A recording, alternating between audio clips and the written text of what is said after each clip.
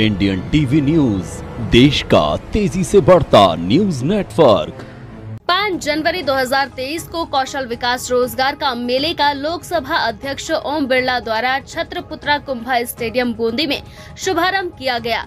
यह मेला बेरोजगार युवक युवतियों के लिए दो दिवसीय मेले का आयोजन रखा गया है। इस मेले में बूंदी के बाहर से अलग अलग राज्यों से कंपनियाँ आई हुई हैं। लगभग 80 कंपनियाँ इस मेले में आई हैं। लोकसभा अध्यक्ष ओम बिरला का मेले के कार्यक्रम में फूल मालाओं से साफा बांधवा कर स्वागत सत्कार किया गया। लोकसभा अध्यक्ष ने कहा, जो चुनौतियाँ से लड़ता है, वही जीता है।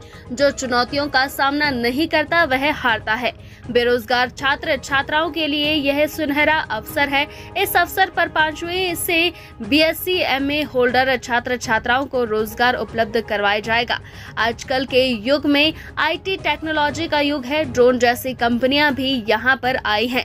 आने वाले समय पर भारत देश के किसान ड्रोन की सहायता से खेती की उपज बढ़ाने में महत्वपूर्ण भूमिका रहेगी, जिससे रोज़गार के अवसर भी बढ़ेंगे। रोज़गार मेले में दूर दराज क्षेत्र से बूंदे इलाके और शहर और ग्रामीण पढ़े लिखे छात्र छात्रा आए हुए हैं, जिनको नैनो जॉब से शुरुआत करके उच्च कंपनियों में खुद की ओनरशिप प्राप्त करना एक अच्छा विजन रहेगा।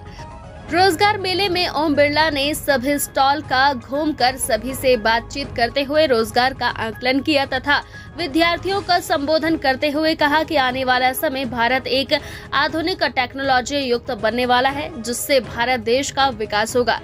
इस कार्यक्रम के दौरान नगर परिषद सभापति श्रीमती मधु नुवाल, उप सभापति लतूर भाई कौशल विकास के अधिकारी लोग मौजूद रहे। इंडियन टीवी न्यूज़ से पुरुषोत्तम बूंदी की रिपोर्ट। इंडियन टीवी न्यूज़, देश का तेज़ी से बढ़ता न्यूज़ नेटवर्क।